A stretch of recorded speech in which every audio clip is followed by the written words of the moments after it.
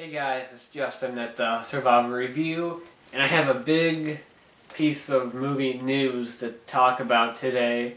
If any of you guys have seen my videos and know I'm a huge Batman fan, this video shouldn't come as a surprise to you, but they just announced who's going to play Batman in the Man of Steel sequel, currently titled Batman vs. Superman. That's just that's not like an official title, but I'm probably going to refer to it as that for the remainder of this video. But anyway, that actor is none other than Ben Affleck. What? Huh? Yeah, um, I'm totally shocked at this news and a little disappointed and underwhelmed because I well, it's Ben Affleck playing Batman. What? When I read this news, the only thing I kept saying to my brother the whole day was just like, "What? But that what?" Because I just it just doesn't seem it seems like a really random choice. Like I was listening to all these people's um, ideas of who they think should play Batman. None of them ever said Ben Affleck, and I never thought Ben Affleck. And I don't think he's really a good choice. I honestly am very skeptical. I feel that he could probably pull off Bruce Wayne pretty decently, but I don't know if I'm going to believe him as Batman. I mean, but that's also like saying George Clooney made a pretty good Bruce Wayne. Yeah, he was also an awful Batman. So, I don't know, because he's one of those actors like Tom Cruise, where no matter what role you're in, you see that actor. You're like, okay, yeah, that's Tom Cruise playing a part. Yeah, that's Ben Affleck playing a part. So I feel like I'm not going to be convinced when he has the mask on and everything. I'm just going to feel like, I just feel like I'm watching Ben Affleck. And so that's the one problem. Also, I just don't, I don't see him as, I just don't, I don't, I don't think that'd work at him as Batman. I can't picture it. I just so hope that Zack Snyder and Ben Affleck, they, they just proved me wrong because I really disappointed in this choice.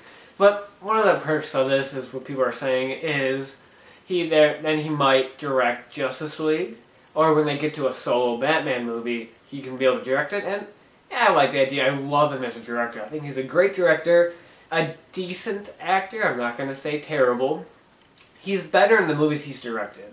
Like he was much better in The Town and Argo than he was in his other movies. But then again, it's gonna be weird because you know we already tried out the whole superhero thing with Daredevil, and we all know how that turned out. I honestly don't hate Daredevil. I just think it's a very mediocre movie. Just watch the director's cut; you get a better film. But I, I feel Ben Affleck was definitely miscast in that movie. But I just don't. I see. Like, also this this is such a left field choice. It's just like Ben Affleck. I was hoping, my opinion on an actor to play Batman was something I was gonna like when they the name, it's gonna shock people, but also interest me. Like, what? Yeah, you know, like one of the rumored actors, and I wouldn't have minded this choice. I'm not saying this is who I prefer to be, but one of the actors was Josh Brolin, who is not he's not the most well-known actor, pretty well-known, but that's I feel that's the type of actor. If they cast him, people will be like, huh, Josh Brolin's Batman? Yeah, because I would see that. And this just came out of nowhere, and everybody is just like, no. And I don't see it. I'm. I hope they do something good. Also, one problem that comes from this is that due to being involved in all the Batman versus Superman, Justice League stuff, uh, he had to. Ben Affleck had to drop out of directing the Stand adaptation, which is an adaptation of the Stephen King book. I'm a huge Stephen King fan. Read The Stand, the expanded version, loved it and when I heard Affleck was directing it, I was like, yes. Because a great director, it's going to be awesome. And now he had to drop out. I just hope this pays off. Because, I mean, I know that Warner Brothers, they could also, this probably was a choice by Warner Brothers because Affleck has done a lot of good stuff for them. Uh, Warner Brothers made The Town and Argo. So, you know, it might have been them their way of trying to have them repay them. Like, okay, you got to do that stuff. Well, now you got to play Batman. And also, Affleck said he was done with comic book movies, so that's really confused me. He said he was done doing comic books and stuff like that because he was a long time ago rumored to be directing uh, um, Justice League. He was actually one of the forerunners, and it was a rumor. It was never official. And he responded, he's like, "Yeah, I'm not capable of that yet. Maybe he is." Let's hope.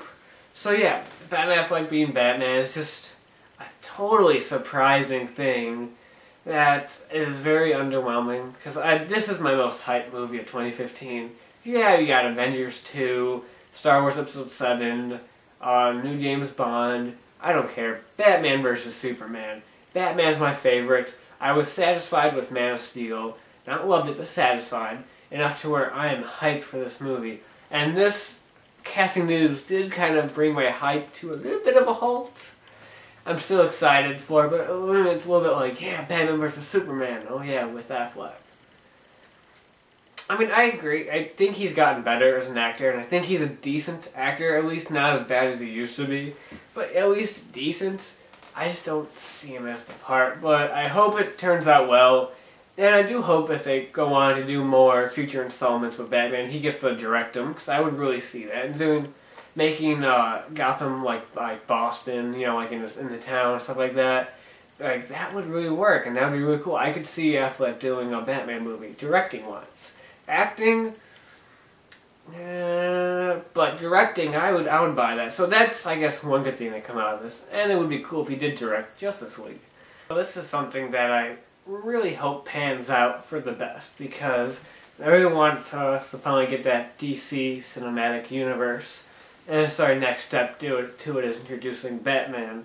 So it's really something I hope works out, and I just I hope he does a good job, and I hope he gets to direct. So that's that's the most recent news for Batman vs Superman, which is they also announced that it's coming out July seventeenth, twenty fifteen. So that date is already marked on my mental calendar, and I will be there.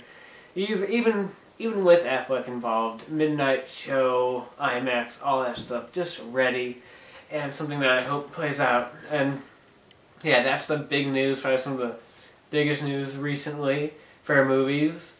Ben Affleck playing Batman, who, like I mentioned in the past, I don't know, he might be able to pull it off, and I really hope he does. So yeah, I want to hear what you guys have to say on that. If any of you guys are Batman fans, what you think about Ben Affleck playing Batman. Which still sounds weird saying that, in Batman vs. Superman. If you guys hate that idea, which, you know, wouldn't surprise me, for, or if you guys love it, that'd be really cool to hear. I, I'm, like I said, I'm very skeptical. I hope it turns out good, but... Mm, so yeah, that's about it for now, and until next time, I will talk to you guys later.